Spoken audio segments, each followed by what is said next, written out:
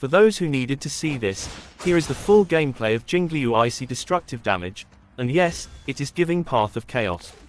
Just from this video, I've seen players saying they're going to skip Kafka just to get this character and I must say, even I was tempted. She seems to be single targeted but her ult will deal all around damage. I love how she goes from ice sword to ice great sword, but you wanna know what is the best of it. Her ultimate is incredible, like her ice butterfly but deadly, what do you think about her gameplay? Would you abandon Kafka for her or not? Let me know in the comments and thanks.